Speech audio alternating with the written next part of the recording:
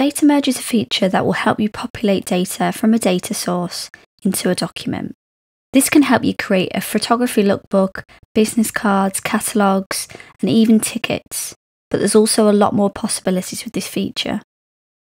In this tutorial, I'm going to take you through the key data merge steps, from creating a data source to designing a data merge ready spread and then finally generating. The first thing you'll need is your data source. This is sometimes sent to you from a colleague or a client.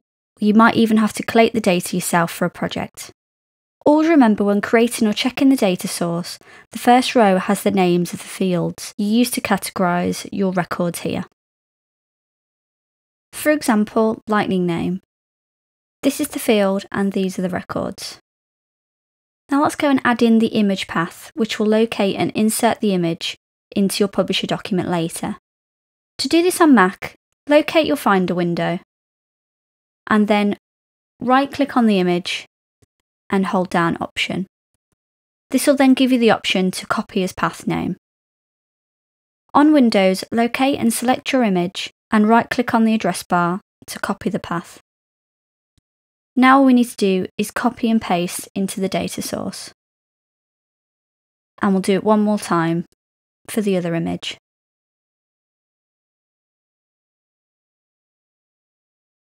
We can now go ahead and import the data source. As this source is already an Excel file, we will use this, but you could also use JSON, CSV, TSV, or plain files if needed. Let's save this for now to update it. And we'll head to Publisher.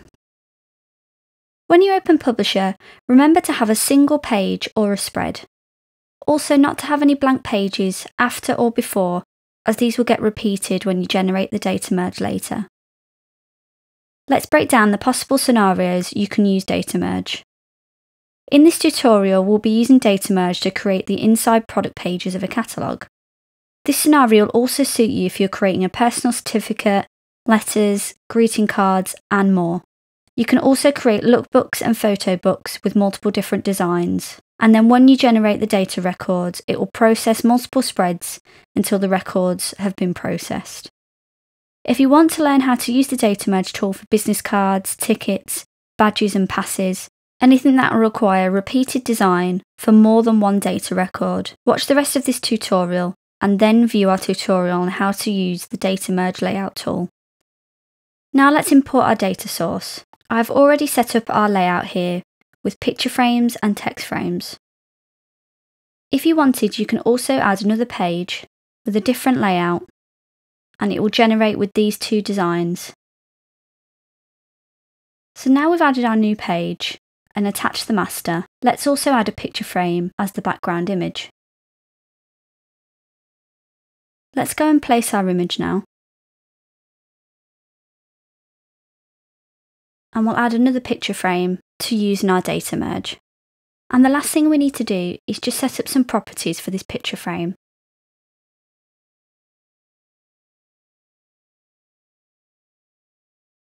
Paragraph styles have already been set up in the document and will generate with these styles. This saves you a lot of time in the future.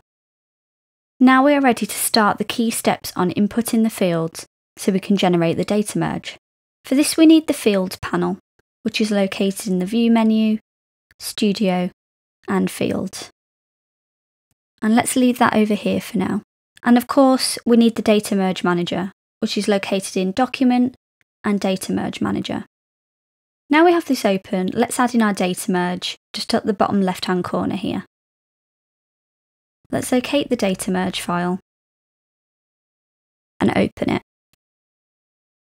We're using an Excel file, but remember you can also use JSON, CSV, TSV, or plain text if needed. Now that's imported, let's break down the options.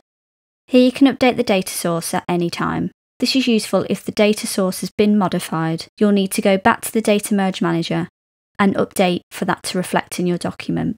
You can also use Show to locate the file on your machine and select is used to change or replace the data source file. The filter options are really handy, especially if you need to decide what records you'll want to include in the data merge. For example, I can have 3 to 7 instead of all records. Don't forget you can also make changes to these at any time. And with Preview, if you want to be able to see how the fields look to make sure the text frames are big enough or the picture frames have the right properties, then turn on Preview. And as you can see in the Fields panel, turning Preview on reflects the record. And you can select Next to show a record you want to preview. And we'll come back to the merge settings after we've imported the fields into our frames. Let's close this for now and come back to it. We're going to need the fields panel for this stage, and let's start importing the fields to tell the data merge where the records will be placed. Let's start with the text. All you need to do is locate the field and simply double click when you're inside the text frame. Let's go ahead and input all these now. As you can see, it takes no time at all, especially when you set up your text styles and your text frames to begin with.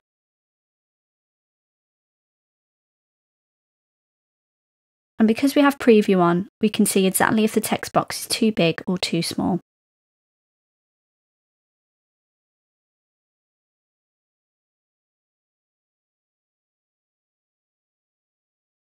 And finally, we'll add in the price. Now we've added all those in, let's do the same with the picture frames. All you need to do here is select the picture frame and double click on the image path. Because we've already set properties up earlier, this has reflected this in the preview. Now let's do the same to the other picture frame. Now we've completed this key stage, all that's left to do is to generate. Let's go and locate our Data Merge Manager again. The merge page settings allow you to enable merging to allow you to use an alternative data source. You can also use it to control what pages you want to be merged. So let's say you only want to merge from page 2 to page 2. For now, we just want all pages to be repeated. And now let's go ahead and generate. As you can see, this has been generated into a new document, which protects our old document if we need to go back and make any modifications. This is looking great, but I think we need to make one more adjustment to a picture frame, which we can do just here. If you want to learn how to use the Data Merge Layout tool, then visit the tutorial after this. I hope you've enjoyed and thank you for watching.